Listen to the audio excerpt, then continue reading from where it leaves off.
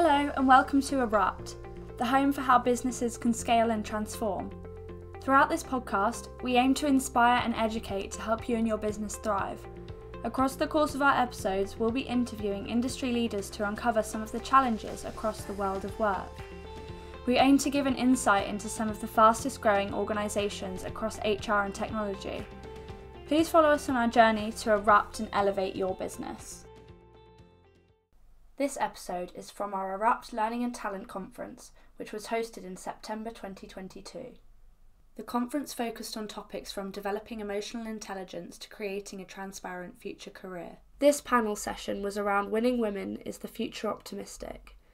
Our panel included Nadia Hutchinson, who is Global Director, HR Services and Operation at Cabot Corporation, Farhana Kuddus, who is the Global Head of Diversity, Equality and Inclusion at 10x Banking, and Bine Aagaard Johanson, who is the Managing Director of Jellyfish. Our panelists discuss how they've got into the position that they are in today and whether female allyship promotes leadership roles for women. I hope you enjoy and make sure you check out the Go website for further content and for all videos on demand.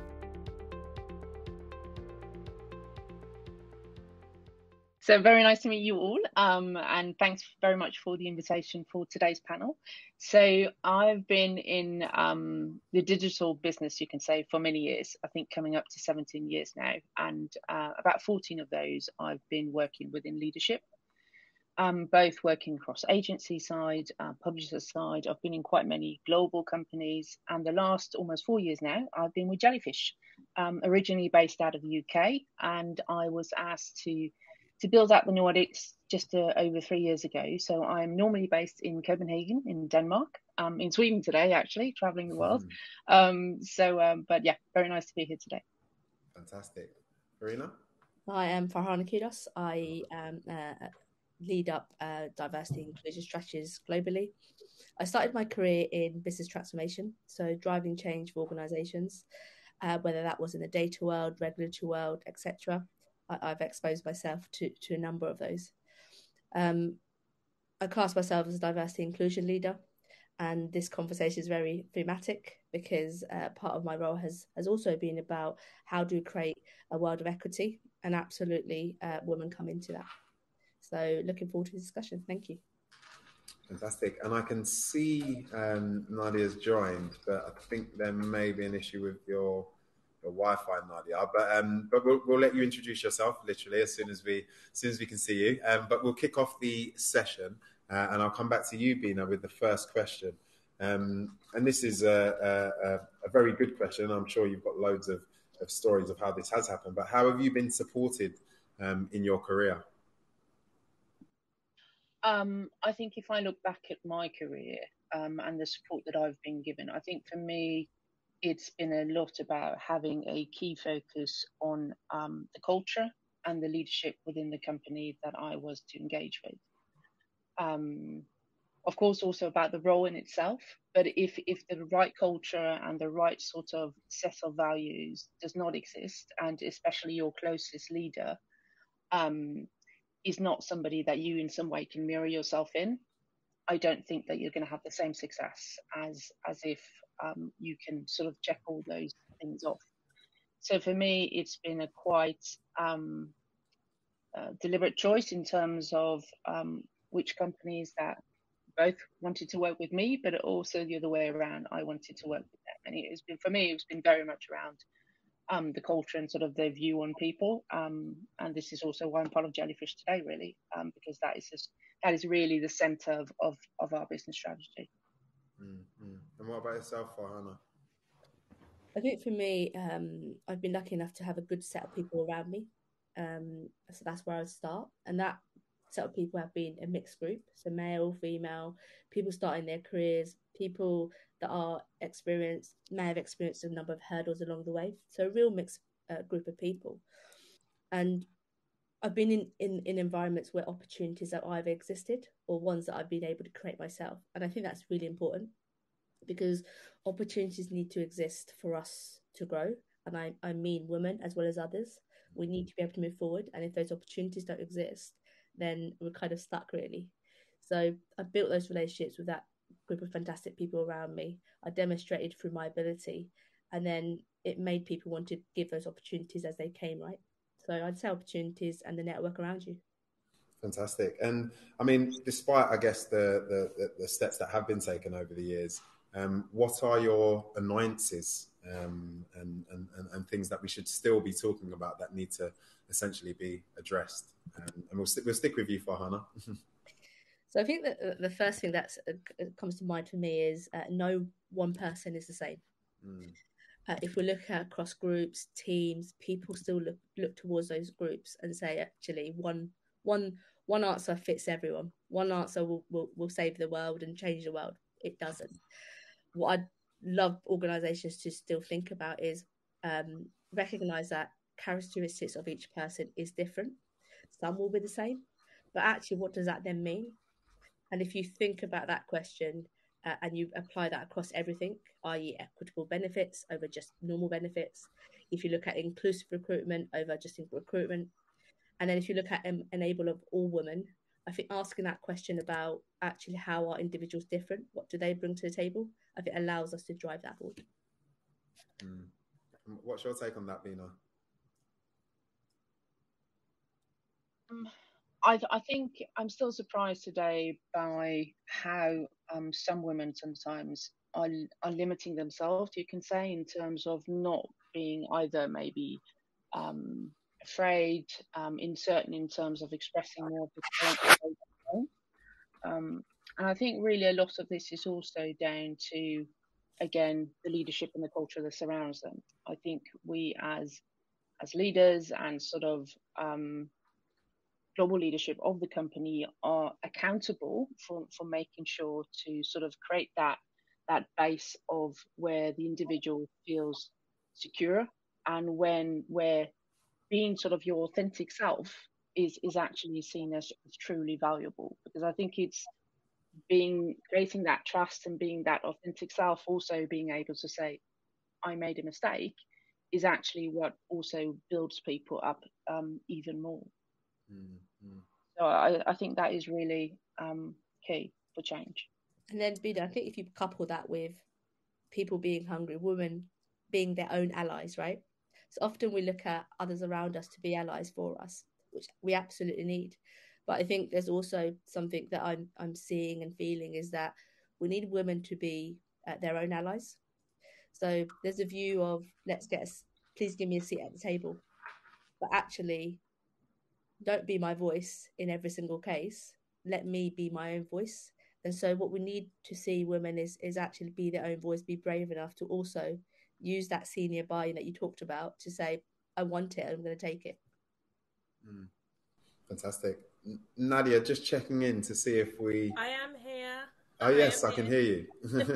uh, I, I would be really keen to just, and apologies that um, it seems dark where I am. I think I have a, a very bad internet right. connection. But just to, to add on to what's been said already, is it's really important for those of us who work with women, have women in our teams, are working with, with women at various different levels across an organization. I'm trying to make a point about understanding the cultural frame of reference for different women. So, women in the Western world may have one cultural frame of reference, women in Africa may have a different cultural frame of reference. Uh, and when you work with um, a variety of different people, just bear that in mind. I think that's also a very important point. Fantastic, fantastic. And I, I, has anyone else got anything to add to that? No, I, I would just agree, Nadia. I mean, um, Jellyfish we have a group called She Unit where we're basically trying to. Um, it's this group of females across um, the globe, across the different um, regions, where we're trying to share career progression.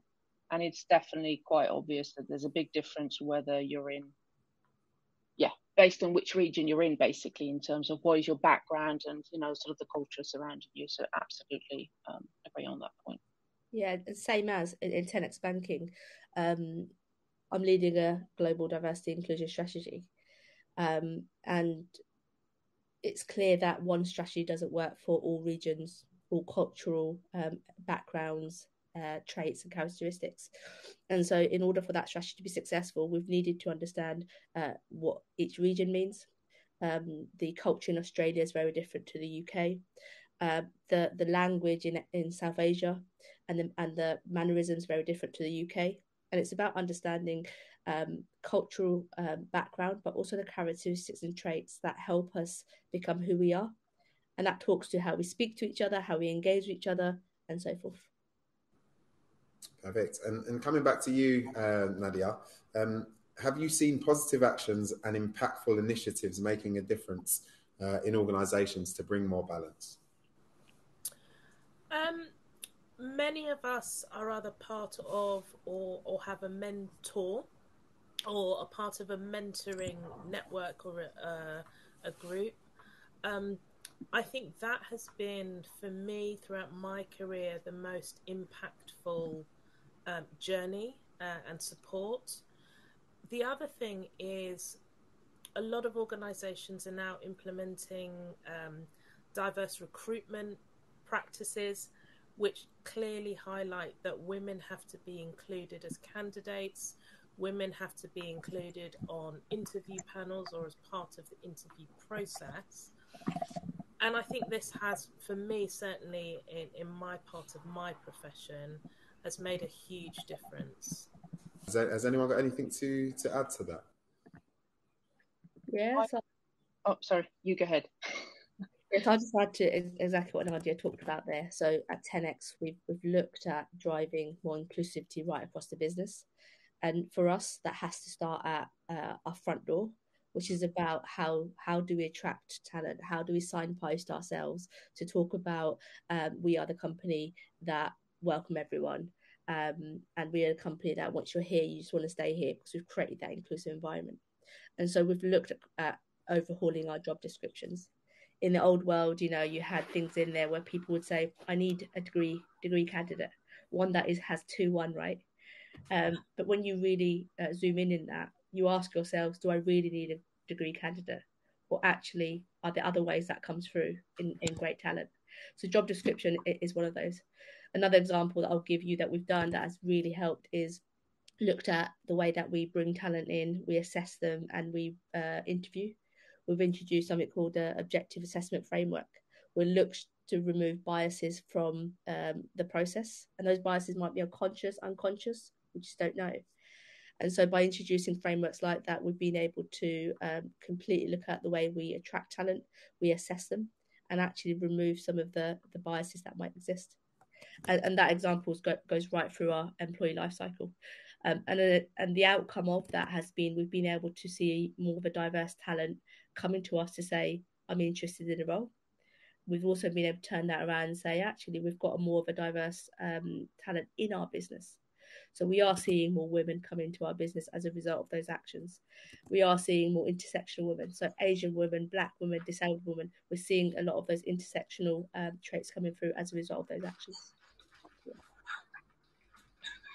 Perfect. Bina, do you have anything to yeah, if I add to that, so just about a year ago um, at Jellyfish, we removed the traditional line manager uh, employee relationship and instead we created what we call uh, personal networks. So basically, what that means is that you're surrounded by a group of people that are there for you to succeed. Um, to supposed to help help you grow even further in the organization and sort of help you build out that um, personal development plan. Um, attached to this, we also created a business case process when we look at salary increases or a title change, which um, is basically a, a process where um, the employer has the opportunity to put forward a business case twice per year, and where the business case itself has to describe three overachievements but the whole business case is anonymized.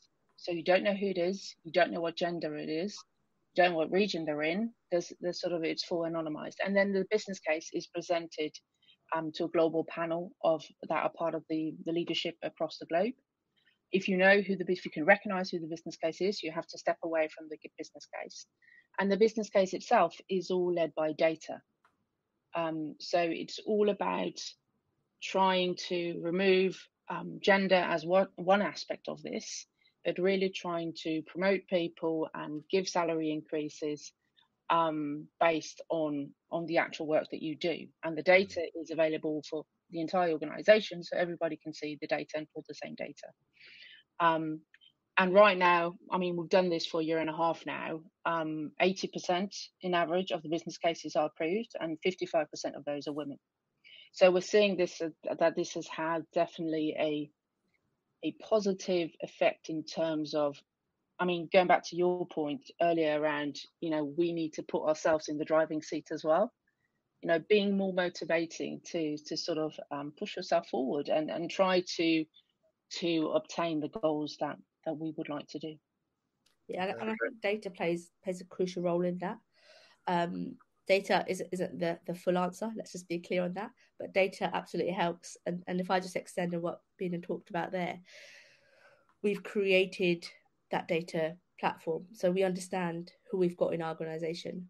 What does a proportion of females, males look like, and the other intersectional traits? Uh, that's been hard because what we are relying on is individuals like myself and, and others on this call to actually trust to share that data, right? But what's that's been allowed us to do is not to just drive change and, and use data to back up our use cases, but also actually go back and say, has what we've set out to do actually worked? How has that moved the dial? If it hasn't, that's absolutely fine. Data is guiding us. But if it has worked, then we go again and keep doing what we're doing. So data, I think, is a key to us being able to measure ourselves and keep going. Fantastic. Um, that platform where we're trying to be equal, right? Where everybody has access to the same. So, as you say, it's not the only thing, but it's definitely a big part of a tool you can use. Okay, and, and sticking with you, Bina, um, how can organisations help to facilitate the transition from mid-level management to execs for women? I think again, um, back to leadership and culture, I think it's about seeing the talent.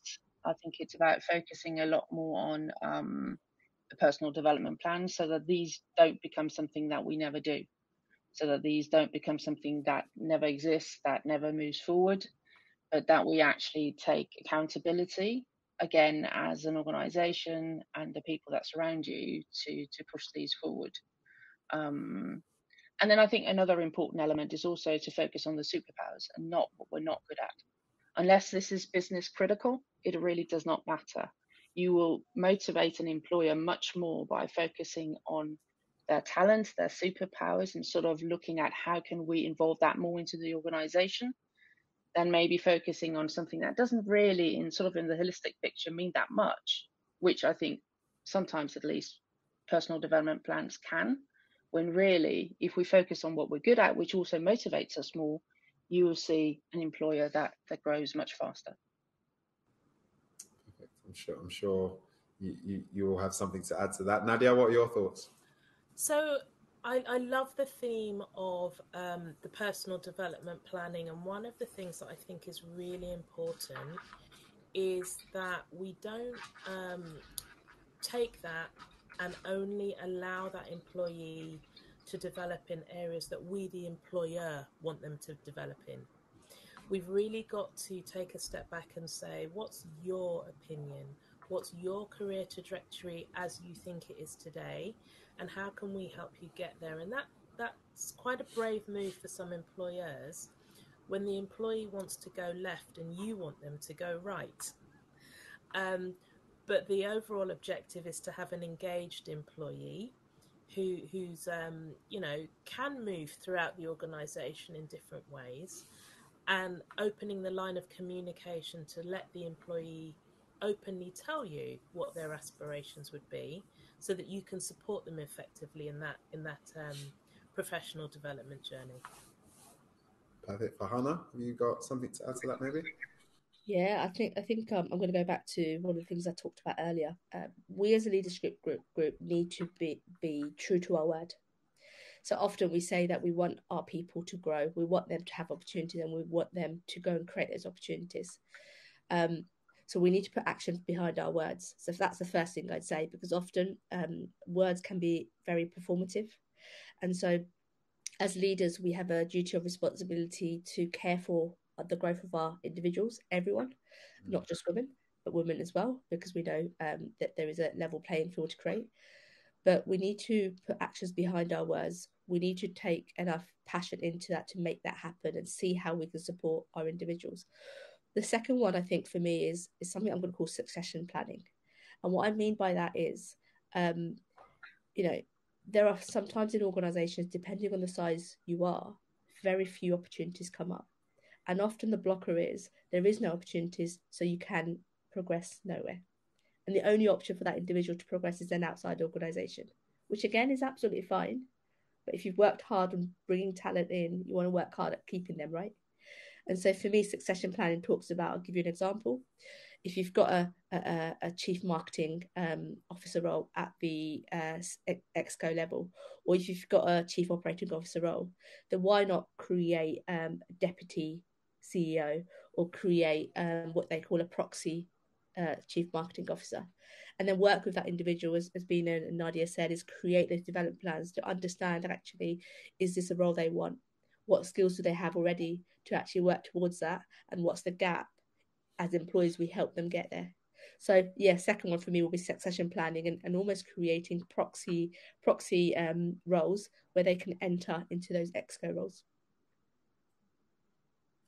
just to add to that, I think another important element is also that we sometimes tend to focus a lot on the title as opposed to the task, right? So even though there might be, um, you might be at a career stage in your organization where, you know, there's not really an opportunity to get what you say an increased title, there might be other projects or opportunities across the organization where you can really add value, um, whether it's a more cultural aspect, whether it's a business um, focus, sort of again going back to what is it that drives you what is it that makes you you know get up in the morning and go to work and really be yes let's do this if you can use some of those sort of motivation skills and superpowers into sort of um, as also part of your personal development plan nevertheless it doesn't necessarily always have to be title um, change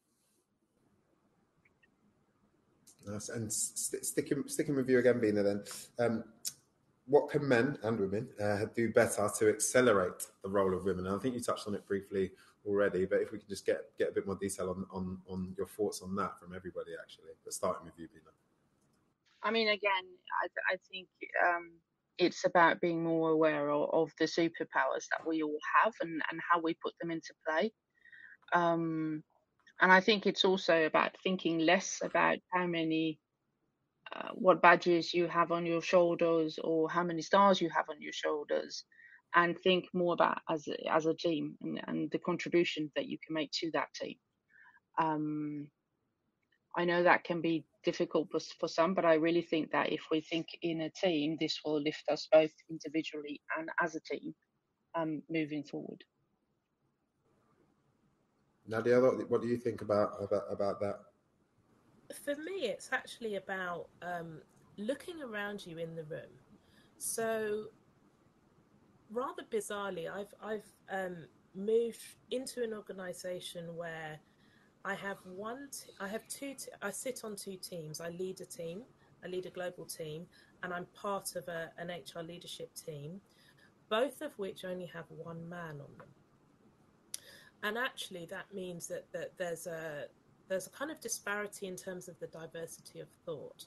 So when I say look around the room, literally, physically look at what you see in the on the screen, what you see in the room with you, and really think about does that view represent a number of different constituents?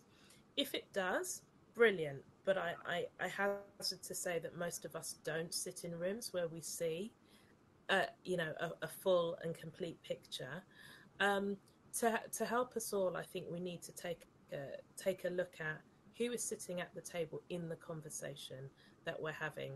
Can be a mixture of men, can be a mixture of women, but again, for me, it goes back to that diversity of experience that has to be represented at all levels and in all discussions. I think it's also um, taking that forward and saying, let's help people understand the power of that, right? Of having that diversity of thought, even diversity traits, if you like, in that room. Because I think reason why we're probably still not seeing some of that come through is people's people haven't realised the gold that comes as a result of that. Um, and, and it's fact, right? For anyone that doesn't know, it's fact that when you diversify the people, the four, the traits that you have in the room, you get to better outcomes. So I think, I think for me, it's also about helping people to understand what, what good comes from that. Um, for me, uh, Magnus, it's about um, what I said. Something I said earlier: be your own advocate. So we've we've we've hopefully talked and heard a lot about allyship around us, and that allyship is on the concept of someone else being my ally, being my fan, being my voice, helping me get that seat.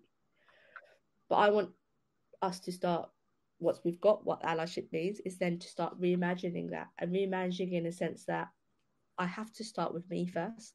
I need to be my own advocate for someone else to be my ally. And so I'd love for us to reimagine what allyship looks like so that let's be clear, no one's doing me a favor by giving me a seat at the table, right? I need to do myself a favor and get that that seat. So Mr. or Mrs. or, or, or non-binary ally, please help me get that seat at the table, and then I should be my own advocate. Fantastic, fantastic. Um, okay, and, and sticking with allyship, um, does allyship connote action, or is it just about self-enhancing labels? And as a man, should you be using your power for good in actionable ways? Is that is that a rhetorical question, Magnus? Slightly.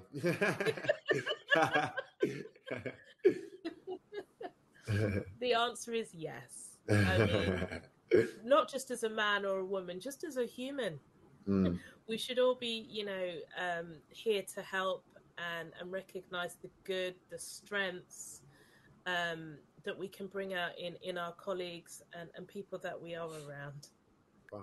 I, I, totally agree, Nadia. Um, I think that many years ago it used to be like a competitive world, but going off what Nadia said there, we're all equal. We should have the same opportunities, um, same um, you know outcomes, and in order to get there, we need to be seen in the same way. And so, how do you create that level playing field, and and how does do allies? How do we support each other? So you know, we are each other's ally. It's not just about the underrepresented groups like women, but I think we need to take that level of competition mindset that used to exist, I hope, many years ago, to now come forward and say, actually, we're in it together. So how do we together move forward? And and allyship does come in, and unfortunately, um, we need women to be their own allies. We need men to be women's allies. But um, exactly what Nadia said there, we just need to take that competitiveness away and uh, have that mentality of one team, one goal just add to that, I fully agree. Just, I mean, don't be afraid of it not all being about you. I mean, um, I, I think being quite many years in the industry now, I've seen this so many times that you know people that focus on the team, people that focus on sort of lifting um, the culture and the business in itself, they have much higher success than people just focusing on themselves um, and sort of winning the game. It always hits them like a boomerang. And it also creates sort of when you go if you move from one job to another you know that effort of wanting the best for the team or wanting the best for the company follows you. And the, the world is really not that big uh, especially if you move within the same industry whether or not it's a region or globally um, yeah I, I truly do think don't be so much afraid of, about you know stepping away of only personal success because with team success also comes personal success. Yeah, and, and also I think, you know, we've talked a little bit about allyship. We all need allies, right? And often when we look at an individual trying to be an ally, there are some individuals that can do that, understand what ally is, and can, can execute on that. But there is another group where they really want to support, they really want to advocate for someone, but they just don't know how. And my guidance to them is ask ask individuals, how can I help you? I've got this privilege, I've got this um, uh, role, I've got this authority, and I want to put that to good use. And I want to see you succeed. And just ask the individual individuals, how can you help them be guided on that journey? I think there's also the um, the point around allyship. Allyship is one piece, sponsorship is the other piece. Mm. So, you know, ally, I stand beside you. Sponsor, I stand for you. I will introduce you. Um, I will put your name in spaces that you hadn't thought your name should be in. Um, sponsorship for me is the real prize because it means that not only am I, you're inadvertently an ally if you are also a sponsor. Fantastic, fantastic. Some unbelievable insight from the three of you there. Um, again, some really good engagement in the in the chat as well. Um, conscious of time, unfortunately, I wish we could talk for a bit longer. But um, if I could ask you all just for for for a, a, nugget that you want to leave those that are listening with, um, 20, 30 seconds max, um, and we'll start with you, Farhana. For me, go and get those opportunities. They always exist. Look for your allies; they exist as well. It might be hard to find them, but just find that one person and then be your own advocate. Perfect. Thank you. Bine? To that, um, be you, be authentic. I think, I think really there's only one of you in the world. So, so bring that forward. That is your superpower to be yourself. Um, and I think that authenticity will take you a very long way. Fantastic. And last but by no means least, Nadia. Um, network.